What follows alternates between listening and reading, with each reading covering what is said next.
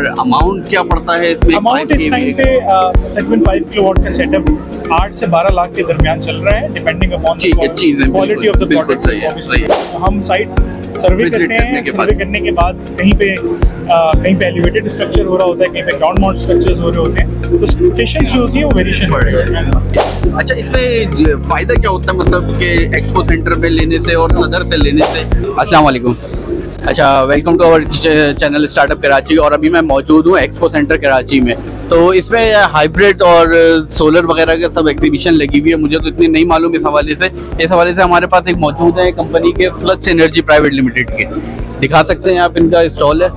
इनसे पूछते हैं इन्फॉर्मेशन कि क्या है किस तरह से और लोगों को किस तरह से सस्ता मिल जाएगा। वो सारी डिटेल आपको गाइड करेंगे। सर कैसे हैं आप? ठीक है?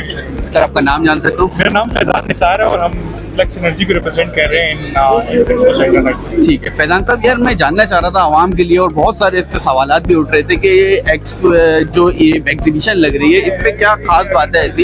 एक्सपो के हमारे लिए आवाम के लिए जो आवाम बेचारी सपोर्ट अफोर्ड नहीं कर पा रही है उसके लिए क्या है? उसके लिए क्या और हो जाएगा? सर एक्सपो का जो एंड कंज्यूमर का सबसे बड़ा फ़ायदा ये होता है कि उसको एक ही सारे प्लेटफॉर्म पे बहुत सारी इन्फॉर्मेशन मिल जाती है रिलेटेड टू इलेक्ट्रिकल और जो सोलर की प्रोडक्ट्स हैं।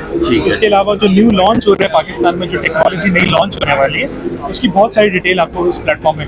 राइट नाउ अभी यूके की कुछ कंपनीज़ हैं जो कि लॉन्च कर रही हैं पाकिस्तान में इस तरह। बहुत सारी बैटरीज पे बहुत सारी इनोवेशन टेक्नोलॉजीज़ आई हुई है राइट नाउ पाकिस्तान जो कि इस एक्सपो में अभी भी मौजूद है। मौजूद है। सही है। अच्छा इसमें फ़ायदा क्या होता है मतलब कि एक्सपो सेंटर पे लेने से और सदर से लेने से? खास होता ये है कि जो नॉर्मली जो ईपीसी कंपनीज़ जिसको हम एक कॉन्ट्रैक्टर कंपनीज़ कहते हैं वो प्रॉपरली अपने एक इंजीनियरिंग डिज़ाइन और अपना जो एक इन हाउस कंपनीज़ के साथ एक्सपो सेंटर में आती है। नॉर्मली शॉप लोकेटेड कंपनीज़ का ये होता है कि वो एक एक एक अनप्रोफेशनल ज़्यादा अच्छा। तरीका होता है और उसके लाइक सामान उठाया और पहुँच गया और करना शुरू कर दिया। That is not the way of doing person dependent होता है लोग। कंपनीज़ का पर्सन होता है। ये प्रोफेशनलिज्म होता है ज़ाहिर आप आप आते हैं आप पिच करते हैं आप कम्युनिकेट करते हैं आप डिफाइन करते हैं चीज़ों को।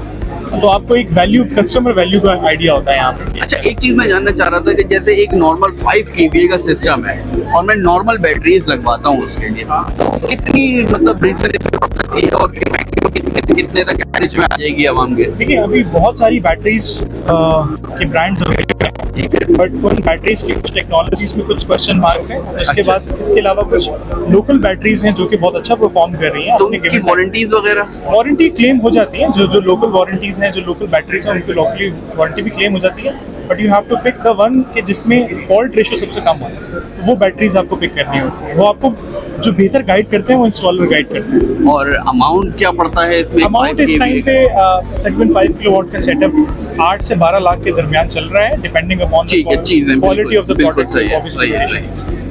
और इसमें कुछ गुंजाइश गुंजाइश हो जाएगी अगर obviously the price is negotiable हम साइट सर्वे करते करने हैं के सर्वे करने के बाद कहीं पे अ, कहीं पे एलिवेटेड स्ट्रक्चर हो रहा होता है कहीं पे ग्राउंड माउंट स्ट्रक्चर्स हो रहे होते हैं तो स्पेसिफिकेशंस जो होती है वो वेरिएशन बढ़ रही तो क्लाइंट्स को थोड़ा सा ये समझना होता है कि जो एंड कंज्यूमर की जो एग्जैक्ट रिक्वायरमेंट है वो उसके accordingly apple to apple comparison करके ही कोटेशन बिल्कुल सही बिल्कुल सही ठीक है thank you sir thank you sir thank you sir तो अभी आपने देखा, हम मौजूद थे फैजान साहब के साथ फ्लक्स एनर्जी पे।